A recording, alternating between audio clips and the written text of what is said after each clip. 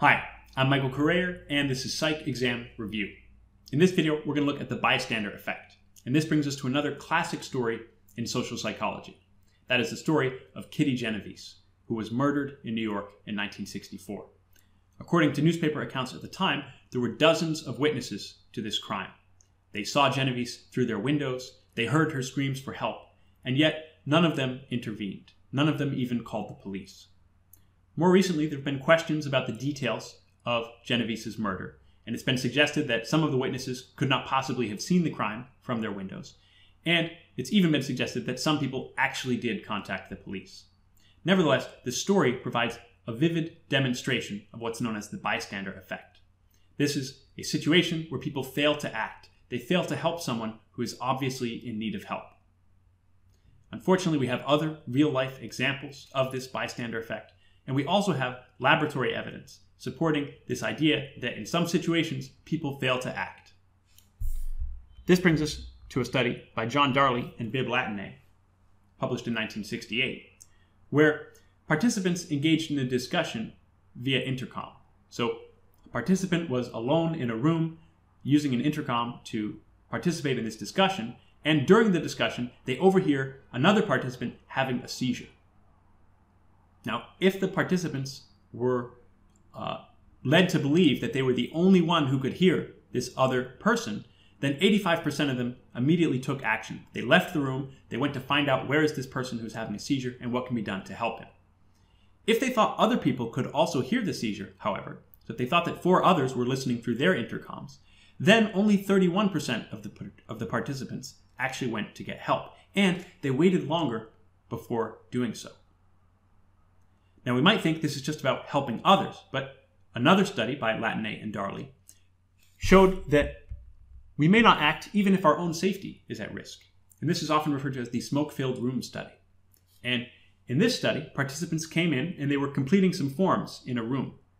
And while they're completing these forms, they notice that smoke begins pouring out of a vent in the room. Now, if the participants are alone in the room, 75% of them immediately got up to go report this smoke to someone else.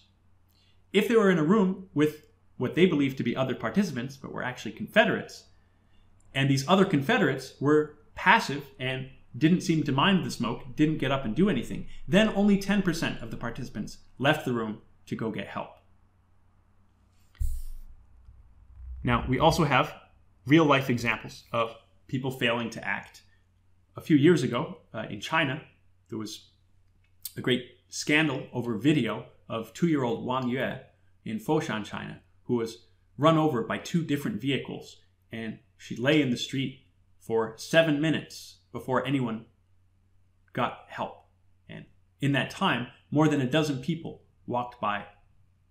And unfortunately, Wang Yue died from her injuries. And when we see video of these types of events, we can see the truth in Elie Wiesel's claim that the opposite of love isn't hate, it's indifference. So, why don't people act? How can people see these things occurring? They can see someone who's clearly in need of help, even a young child, and yet do nothing. Well, one reason for this is that there's costs to getting involved. And in some cases, like witnessing a crime, those costs can be very high. Your own physical safety could be put at risk, perhaps even your own life. We could also think about financial costs of getting involved. And when this Wang Yue video surfaced in China, many people blamed the Peng Yu incident of 2006. This is a situation where 26 year old Peng Yu helped a 65 year old woman who fell while boarding a bus and broke her hip, and he helped bring her to the hospital. And as a result of his altruistic behavior, he was accused of causing the injuries. A judge in Nanjing ruled that he wouldn't have helped if he wasn't responsible for what happened, and Peng Yu was fined the equivalent of $6,000 for this helping behavior. But if we think about John Darley and Latané's studies, we might realize that the costs appear fairly minimal, just leaving the room and looking for someone else to get involved. So the costs don't seem to be particularly great, and the benefits seem even greater, particularly in the smoke filled room study, because your own physical safety might be at risk if there's a fire in the building. And so you would think that the cost of walking out of the room and finding somebody to ask or the cost of maybe the potential embarrassment of being wrong that actually it's nothing to worry about, that seems minimal compared to the risk to your own physical safety. So, what else could be involved in explaining why people don't act? Well, one explanation is what's called pluralistic ignorance. This is the idea that in these situations, we often have very little information. We don't know very much about the cause of these events. We don't know why there's smoke coming out of an event, out of event. We don't know why someone's laying in the street. We don't know why someone's screaming for help. And as a result, we don't know what the appropriate response is either. So we have very, very little information about the cause, and then we also have very little information about the response. And we see that there's other people around. And we assume that those other people might know more than we know. We look to them for information, and we see that they aren't acting either. We think, well, they maybe saw more than I did, or maybe they have more training, they know what to do in a medical emergency, and they're not acting. And so we get the idea that not acting must be the appropriate response. If other people know more and still don't act, then not acting is the right thing to do. And this also brings in the idea of conformity that I've talked about in previous videos. Another way to think about why people don't act is the diffusion of responsibility. This is the idea that when other people are around, the responsibility, the feeling that we should help, gets spread out amongst the crowd. So if you're the sole witness to an event, then you feel the full weight of responsibility. So if I see a person collapse on the street and I see there's no one else around, I know that if I don't do something, then nobody will do anything. This person won't get help unless I provide it. And so I feel the full weight of responsibility.